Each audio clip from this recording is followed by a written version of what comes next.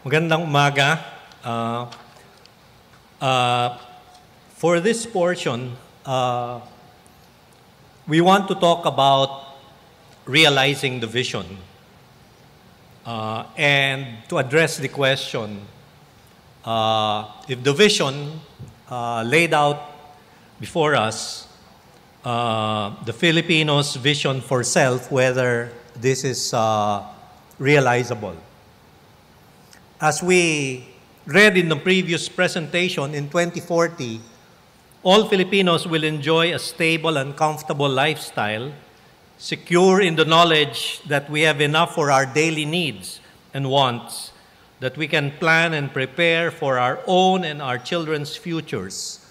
Our families live together in a place of our own, yet we have the freedom to go where we desire, protected and enabled by a clean, efficient, and fair government. I think it's good to keep repeating that to ourselves. Can we have the next slide? So, I guess at this point, the question that many of you may have in mind is whether this vision is realizable. And for us in NEDA, the answer is a resounding yes. It is possible with the right policies and programs. We recognize, however, that government has a critical role to play in supporting the realization of these aspirations. Government needs to provide enabling conditions to help Filipinos build up their resources, including physical, intellectual, and financial, by fostering sustained economic growth, investing in people, and protecting them against shocks that destabilize them. The government also needs to provide the appropriate rules of the game, the institutions that ensure that the proper conditions are enforced fairly and equally. Sustained public investments to close the country's infrastructure gap will be important in removing bottlenecks that have limited the potential of various sectors of the economy and allowing the benefits of growth to be spread more widely. We also need to provide an environment that fosters competition and rewards innovation as they are critical for long-term growth. Government needs to sustain public investment in the country's most important asset, its people. Investments in health and education will ensure the availability of a healthy, highly trainable, and skilled labor force, allow the poor to benefit more from growth, and foster the development of a more entrepreneurial society.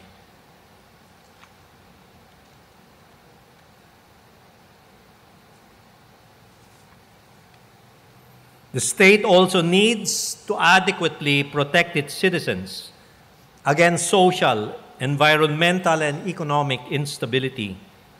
This includes the protection against peace or threats against peace and security, as well as health and environmental risks.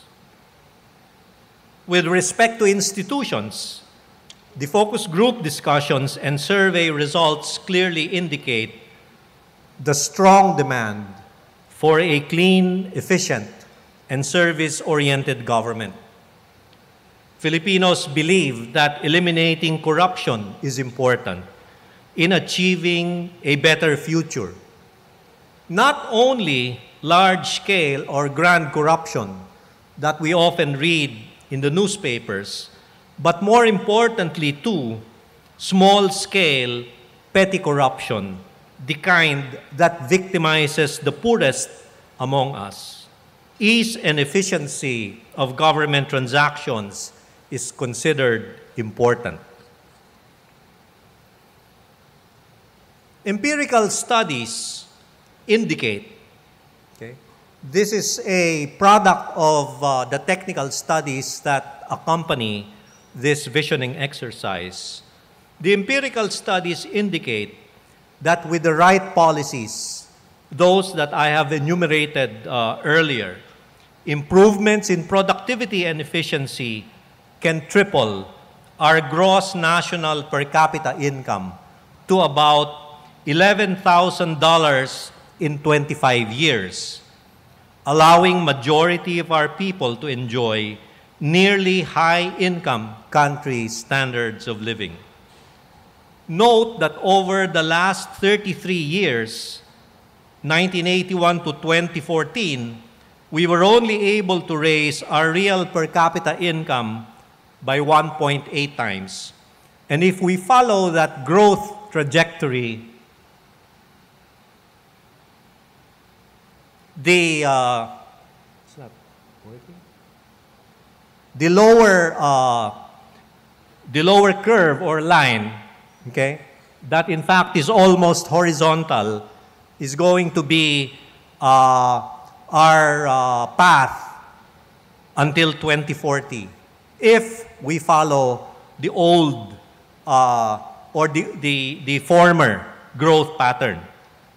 However, in contrast, if we were to undertake the reforms that are needed, the trajectory will be represented by that uh, red upward sloping curve.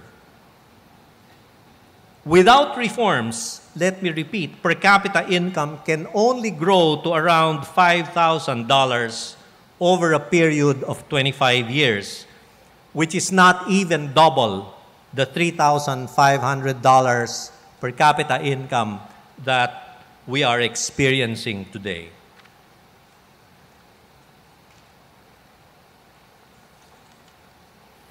The impact of poverty will depend both on the outcomes, both on the robustness of economic growth, as well as how it is distributed. This chart shows the possibility of eradicating poverty by 2040, if not sooner.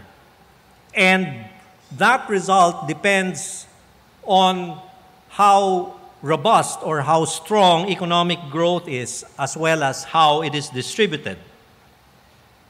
The uppermost curve uh, assumes that there will be weak growth accompanied by uh, very small changes, very small improvements in, uh, in inequality or inequality in the distribution of income.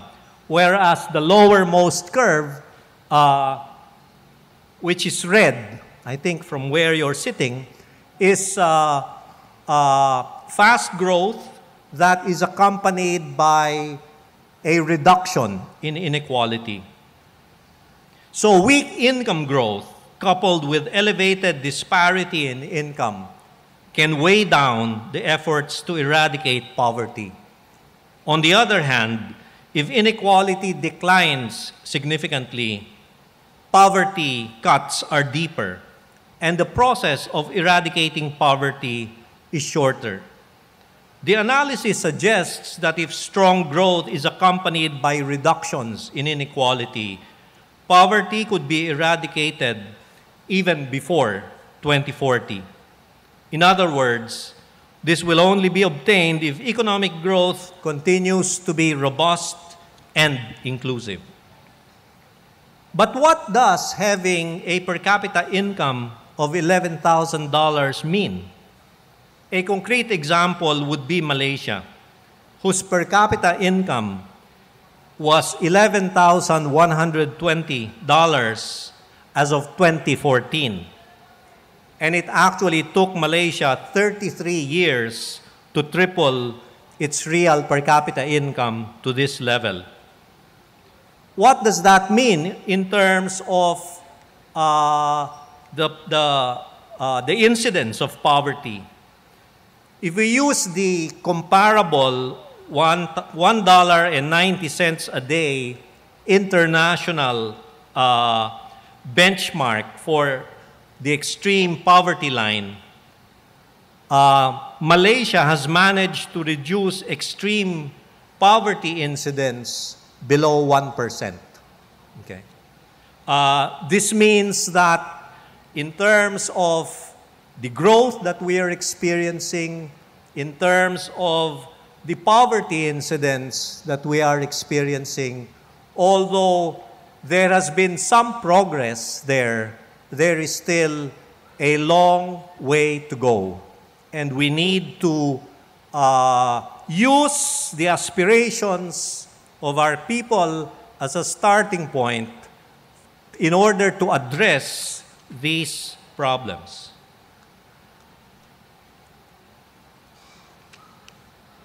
The vision of Filipinos for the country, we dare summarize in these words The Philippines shall be a country where all citizens are free from hunger and poverty, have equal opportunities, enabled by a fair and just society that is governed with order and unity. A nation where families live together thriving in vibrant, culturally diverse, and resilient economies. So earlier, we said, we, or we showed vision for self uh, at a more aggregate level uh, as we try to address those aspirations. Uh, this is the vision for the country as a whole. The road to realizing this vision, however, is filled with challenges. Firstly, it needs to survive a change in administration four times over the next 25 years. Four times over the next 25 years. And reference has already been made to our usual practice that because of these six-year terms and the proclivity of uh, administrations to change even worthwhile programs of previous administrations, there is that threat of uh, uh, interrupting or disrupting the, the, uh, the growth trajectory. It will also require a lot of patience as not all the ambitions that we have uh, shown earlier will be achievable immediately nor simultaneously. Consider, for example, the, uh, the aspiration to, of, of, of everyone having his or her own house and lot and living in a city. Okay? Uh, so there is a task of leadership there that involves being able to process these aspirations even while using this as a starting point and understanding why those aspirations for now are the way they are and to recognize that between now and 2040 these aspirations are bound to change as well as the country uh, uh, makes progress. So we will have to sustain the momentum over a period of 25 years under changing conditions, requiring adjustments and flexibility in our strategies. So what does this imply in terms of our next steps? One, it means that we will need to build a broad constituency for the vision and the reforms needed to attain it. Among others, this will involve a good communication strategy to communicate the vision to all stakeholders so as to gain widespread recognition and acceptance. The vision also needs to be translated into specific goals, measurable targets, and intermediate milestones while allowing for flexibility in strategies.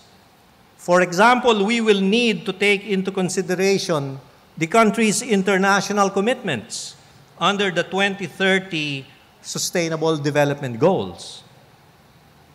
The strategies needed to achieve these targets will then be the subject of the next four Philippine development plans. Institutional arrangements will also have to be adjusted to ensure horizontal and vertical policy coherence and sustained implementation. So, as we suggested earlier, it is clear to us that government needs to play its role in making this vision a reality. But clearly, we cannot do it alone. We will need everyone's help and cooperation. So, the question I leave you with in closing is this What can you do to support this vision and turn it into a reality for Filipinos? Thank you for your attention. Magandang umaga.